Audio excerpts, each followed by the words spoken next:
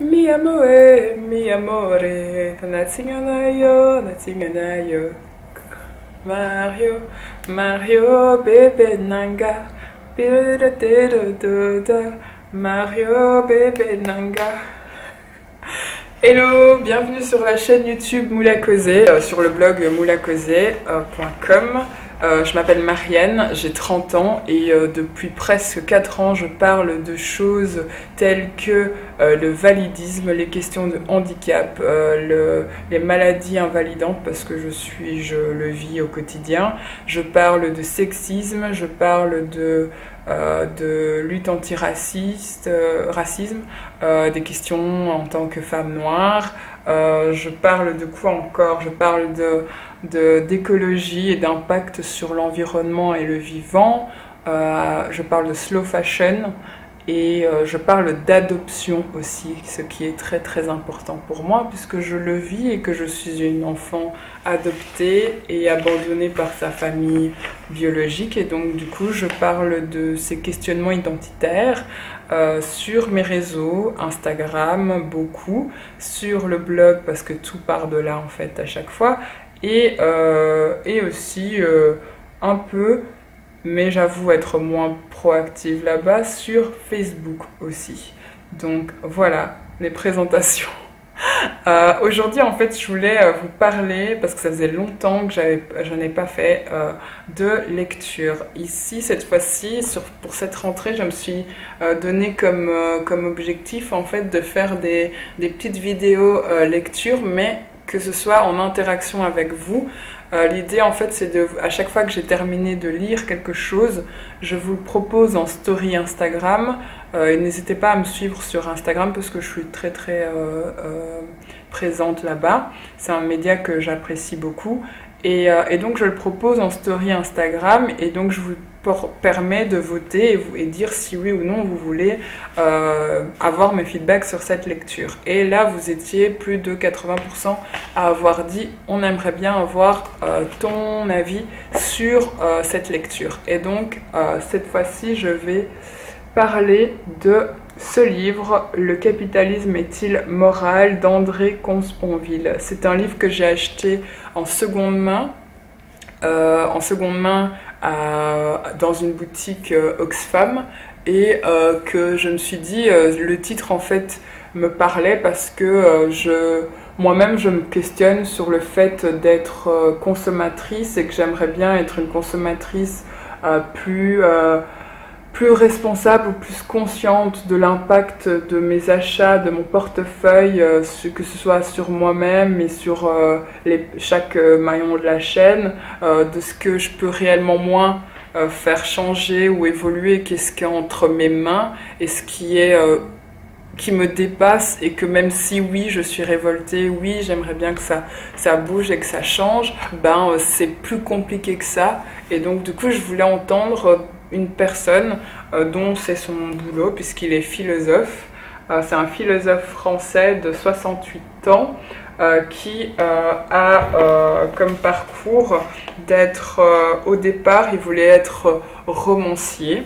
Euh, mais à 17 ans, il s'est rendu compte, après avoir lu euh, Céline et Proust, qu'il n'arriverait sûrement pas à faire, à égaler le talent de ses écrivains, de ses romanciers. Et donc, du coup, il s'est plutôt penché sur l'idée de créer des écrits philosophiques. Et donc, il a fait des études à l'école euh, normale supérieure de Paris pour obtenir une agrégation en philosophie qui lui a permis d'être enseignant dans, des dans des établissements secondaires et universitaires jusqu'en 1998. Euh, ensuite, euh, il, s'est plutôt dirigé vers le, les médias. Il a été euh, plutôt un philosophe médiatique, donc il passait euh, à la télé, sur les plateaux télé, il intervenait dans des, dans dans des journaux, dans les radios. Euh, il, a aussi, il fait aussi énormément, et c'est une grande partie de son... De son bah, de son boulot de faire des conférences, en fait, que ce soit euh, des conférences pour des entreprises ou euh, des, des, gros groupes euh, de patronaux et ou des organismes, en tout cas, qui parlent économie plutôt. Et, et donc ici, il, en fait, le livre, il est un peu, il est un peu sur le modèle de, il explique sa motivation première pourquoi en fait il a décidé euh, d'écrire ce livre? Parce que euh, le livre est à la fois une idée en fait de ces notions qu'il a concrètement lui avec ses connaissances et, ses recherches. Et, donc il, il, explique aussi dans son parcours que Marx et le communisme l'a énormément influencé et donc même dans son jeune adulte à 18 ans, il a fait partie de groupes communistes. Et euh, euh, il, dit aussi qu'il est influencé, son maître à penser euh, reste lui, Arthusser, qui est un philosophe français né en Algérie en 1918 et mort en 1990, qui marque le renouvellement de la pensée marxiste dans les perspectives structuralistes en 1960. Il fait tout de même il faut tout de même que je le signale parce que ça m'a ça a plus que attiré mon attention. Lui, euh, lui Arthusser, ayant euh, sombré dans la folie, a assassiné sa compagne Hélène Rittmann en 1980. Donc il a commis un féminicide, folie ou pas, il l'a commis. Et donc je trouvais un peu je pouvais pas passer à côté, même si oui, c'est son maître à penser, euh, et que ça l'a énormément, lui, André de Con, de Consponville influencé dans sa manière de réfléchir, de partager euh, sur ces différentes questions euh, du, Marx, Marx, communisme, économie, capitalisme, euh, politique, morale, mondialisation, etc. Tout, toute cette nébuleuse a été dans, dans sa manière de partager, il a été influencé par cet homme, et donc cet homme, c'est quand même lui, et donc il faut quand même mettre les choses à plat. Donc euh, voilà, ça ne m'a pas empêché de lire le livre, euh, évidemment, euh, parce que je voulais avoir un, un d'autres points de vue sur ces questions-là, parce que moi je... Bah oui, parce que moi je me pose des questions sur, sur ma consommation et ma manière de consommer. Et et donc aussi, euh, une chose aussi qui est euh, importante dans le parcours euh, de l'auteur, c'est que de, 2008 à 2016, il a été membre de la comité, du comité consultatif national d'éthique qui donne des avis sur les problèmes éthiques et questions de société au niveau de la biologie, au niveau de la médecine et au niveau de la santé. Je trouve que c'est aussi important de d'expliquer d'où l'auteur part pour aussi comprendre sa mouvance, qu'on soit d'accord ou pas d'accord, pour savoir d'où il, d'où il démarre. Et il a grandi aussi dans une famille plutôt euh, déchirée, avec un père euh, euh, assez méprisant, durant lequel il a toujours eu tendance à vouloir se évoluer en opposition, en révolte avec lui et, et une mère aimante mais dépressive, et donc ça l'a aussi influencé. Voilà pour l'auteur d'où il part. Pour le, livre concrètement, c'est une réédition déjà, et donc c'est revu, corrigé, amélioré par l'auteur. La motivation de l'auteur, c'est euh, l'auteur euh, a envie en fait que le lecteur ou la lectrice euh, voit plus clair, euh, puisse comprendre des décisions qu'il fait sans le savoir, inconsciemment ou consciemment euh, aussi. Euh, et enfin, assumer aussi les responsabilités face aux différents défis de notre monde globalisé, mondialisé, qui, qui est dans ce, dans ce capitalisme, ce libéralisme depuis des années, parce que c'est un, un système économique qui est là depuis euh, en mode mono. Euh, euh, allez, il a, il a la, la, la il a toute la place, il a tout le monopole, voilà, il a le monopole depuis la chute des, du, du bloc soviétique la chute du mur de Berlin et encore plus par la suite avec les événements du 11 septembre. Et donc ce système économique intervient dans notre monde sur différents aspects, à différents étages, à différents avec différents enjeux et conséquences, et qu'on le veuille ou non, il a le monopole en fait. Et donc il questionne ce monopole. Euh, et euh, avec le parallèle, je fais ce parallèle avec cette situation où la pandémie Covid-19 et la gestion euh, des autorités de cette pandémie en fait, et les inégalités, les problèmes structurels présents déjà avant, mais qui ont été encore plus visibles, encore plus audibles, ou, ou peut-être aussi euh, ce côté où euh, pas le choix de certaines personnes ont fait qu'elles se sont encore plus permis de dire non, on n'est pas d'accord avec ça. Elles ont manifesté avec les, mouvements euh, Black, Black Lives Matter ou alors avec la lutte, la santé en lutte aussi.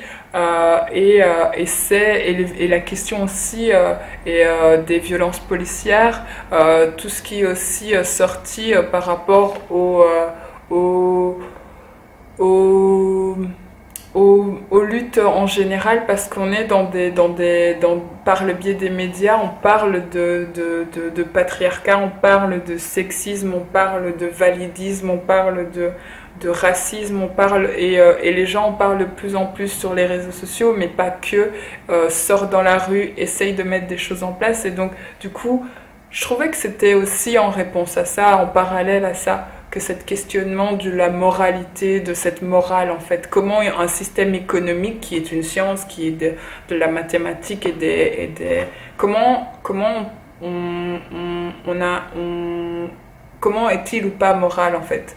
Et euh, et le, livre recueille plusieurs réflexions sur les rapports entre la morale et l'économie. Dans un pays, en fait, il dit euh, dans un moment dans son livre, dans un pays capitaliste, ce n'est pas l'homme qui est au cœur de l'entreprise, c'est le profit. C'est comme ça que ça marche et c'est pour ça que ça marche. Et c'est assez froid peut-être de dire ça, mais concrètement, c'est ça.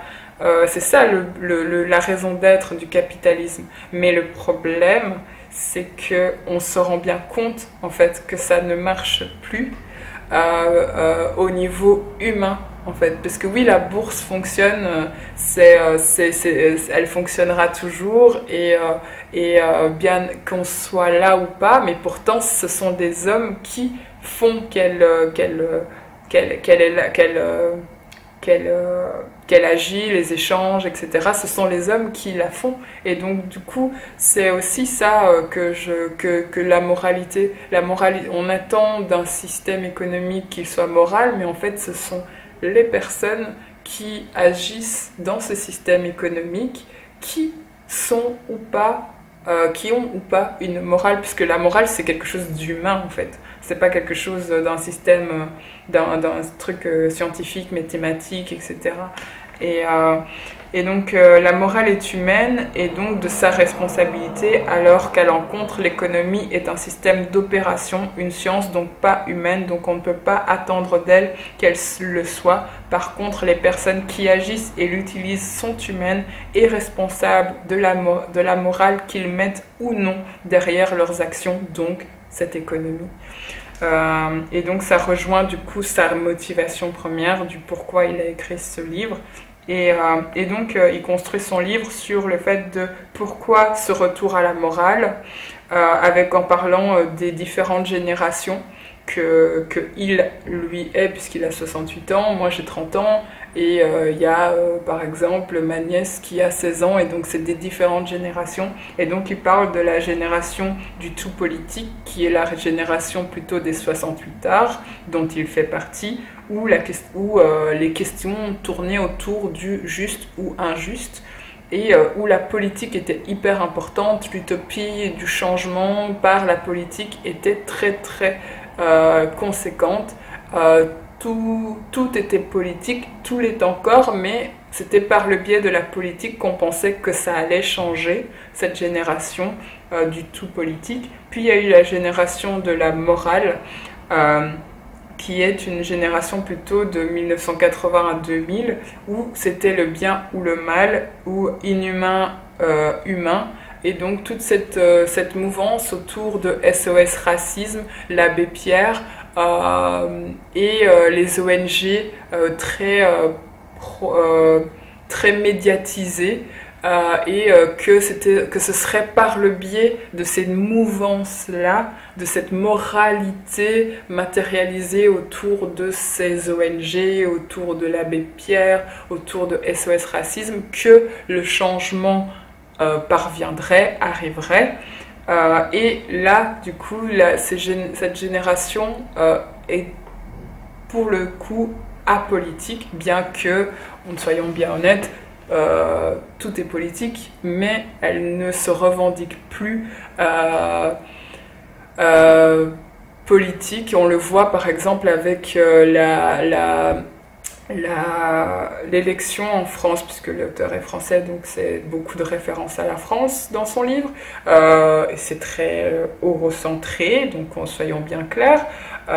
et et aussi très euh, paternaliste, je trouve, dans le livre. Ça, c'est mon point de vue. Je trouve qu'il y a ce côté aussi, euh, oui, euh, le capitalisme a quand même fait beaucoup de bien, soyons clairs. Il a permis moins de pauvreté. Et, et, donc, du coup, il ne faut pas cracher là-dessus. C'est quand même un système qui, qui est, faute de mieux, le meilleur. Et donc, je pense que qu'il ait ou pas raison en fait. Moi je suis pas là pour dire s'il a ou pas raison. C'est que son raisonnement je le trouvais très eurocentré de penser que c'est le seul système qui prévaut euh, faute de mieux, alors que si tu sors un peu de chez toi, de ton continent, il y a peut-être d'autres systèmes qui peuvent aussi euh, ou qui ont fonctionné ou euh, donc ouais je trouvais je trouvais ce livre très très recentré et de temps en temps ça ça m'a saoulé en fait. J'étais un petit peu là, oh écoute euh, gars, euh, euh, sors un peu de chez toi quoi, sors un peu de ton, de ton, de ton cercle académique ou médiatique, de, de, personnes qui, qui évoluent dans un milieu plutôt privilégié, plutôt parisien, plutôt français, plutôt et donc euh, voilà, je, et aussi comme il fait des conférences pour des entreprises patronales, etc. Du coup, je, trouvais que ça tournait fort autour de ça et je me disais un peu, écoute, euh, ce serait aussi bien de sortir un peu de, tout ça en fait, euh, pour rendre l'ouvrage un peu plus l'étoffer en fait euh, un peu moins tourner euh, constamment euh, autour des mêmes choses, aux mêmes conclusions, etc. Je l'ai trouvé un peu redondant en fait ce livre. Pourtant il est pas long, hein. il, est, il est pas long, je crois qu'il fait 200, 260 pages, mais comme, il, comme il, part constamment de cet exemple et je trouvais ça dommage de, que de ce qu'il connaît pour faire toute sa, son son, raisonnement, ben euh, ça, c'est dommage. C'est vraiment ça. Je me suis dit que c'était dommage. Et, euh, et, donc il y a cette dernière génération euh, qui, qui, lui appelle spirituelle, qui est plutôt de 2000 à 2020, qui est celle que l'on voit aussi par le biais des réseaux sociaux avec la question du sens, le non-sens. et dans sa construction du livre, après avoir posé ces différentes générations qui, qui, se, qui, qui vivent ensemble, en fait, qui vivent ensemble, euh, il parle des problèmes de limite et de la distinction des ordres aussi, qui est vraiment un passage, je trouve, pour le coup, au niveau technique et une notion très intéressant. Euh, mais que je pourrais pas résumer ici, je suis désolée, mais c'est moi c'est la partie que j'ai préférée en fait euh, du livre. Euh, et puis, euh, grâce aux deux premiers points, il va répondre à la question du titre du, livre.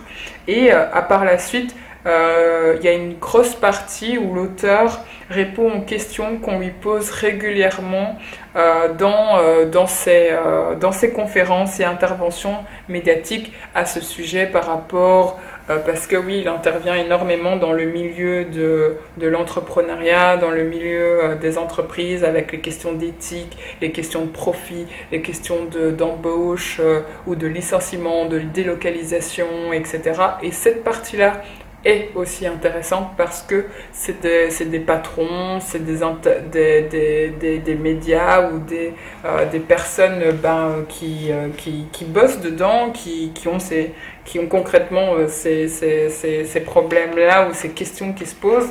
Et, euh, et je, je trouvais intéressant euh, plusieurs réponses qu'il donnait.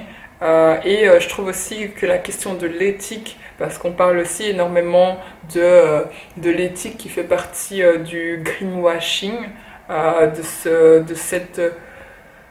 je trouve qu'il fait bien il fait bien référence euh, à, à, cette manière dont on pense que l'économie doit être morale, alors que l'économie, c'est du profit, c'est un système économique qui, euh, qui, qui, a lieu d'être parce qu'il il veut le profit.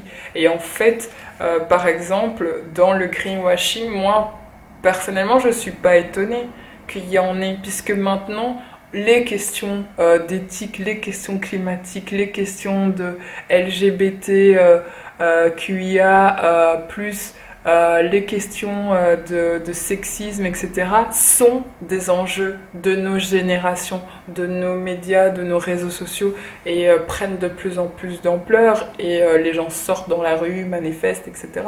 Et donc, oui, puisque tu as besoin de faire des profits, tu vas utiliser ce qui, ce qui, ce qui est dans, dans, dans, dans l'air du temps pour le mettre à ton avantage et avoir du profit.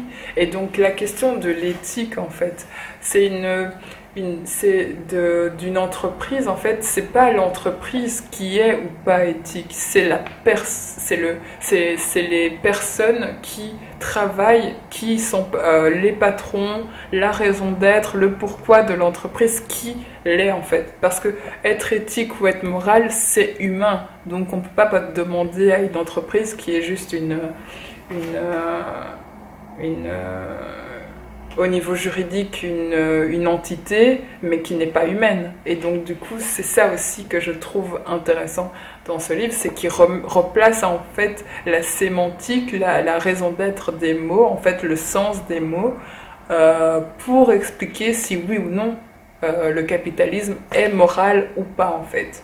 Et, euh, donc euh, voilà, et ça me faisait penser à une publicité que post-confinement de Coca-Cola qui, qui disait en fait la publicité, c'est et si le changement commençait par toi et moi? Et je trouvais cette publicité tellement exemple même de cette question de est-ce que le capitalisme est moral ou pas? Parce qu'en fait, Coca-Cola, c'est pas l'entreprise à laquelle tu penses au niveau quand on te dit moral mais pourtant, la raison d'être de Coca-Cola, c'est de faire du profit. Et donc, comme le Covid, euh, la pandémie Covid-19 a ressorti et a, accentué certains, énormément de problèmes structurels de nos sociétés, ils surfent sur la vague en fait. Donc, ils font juste, ils font juste le, job de ce truc de euh, faire du profit.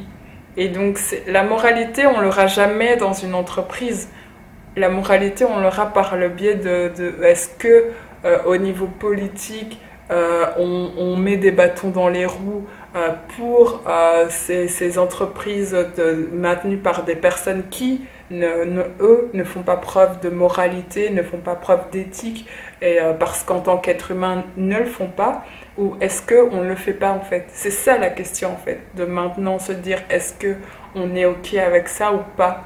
Parce que oui, le capitalisme, c'est un, c'est juste une science, en fait, c'est juste de la mathématique, c'est juste une, c'est juste de l'économie, en fait. Et donc, je trouve que, que parler euh, constamment du, euh, du capitalisme est-il moral, ou en tout cas attendre une moralité d'un système économique, je trouve que c'est, c'est, c'est, pas, c'est pas, euh, comment dire, c'est pas, c'est se tromper de débat en fait et de se tromper d'action aussi et, euh, et, euh, et pas aller au fond des choses alors que c'est pas ça à remettre en question en fait.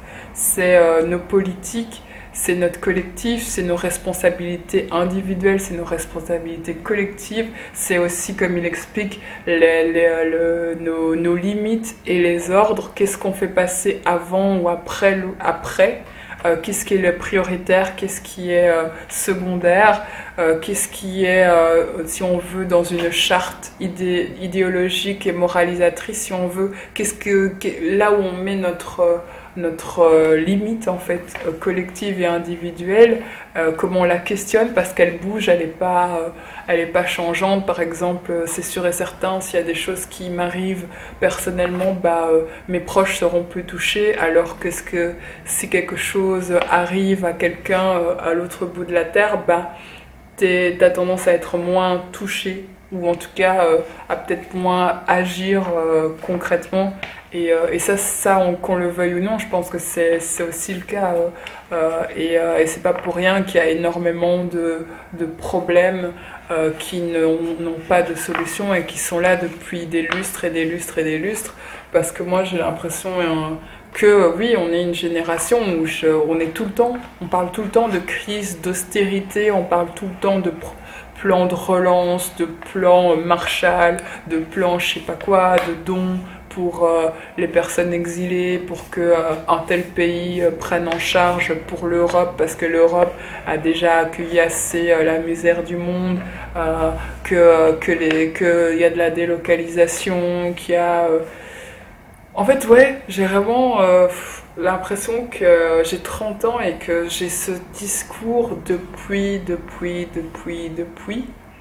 Et en, et en lisant ce livre, eh ben, j'ai acquis un peu plus d'outils, si on veut, euh, pour comprendre les dialectiques au niveau des médias, les rhétoriques, les répondants, la manière dont les, les médias le présentent, euh, le choix des politiques aussi, du fait que, en fait, euh, euh c'est pas la question d'être de gauche ou de droite, en fait, parce que depuis 30 ans, euh, c'est c'est pas ça.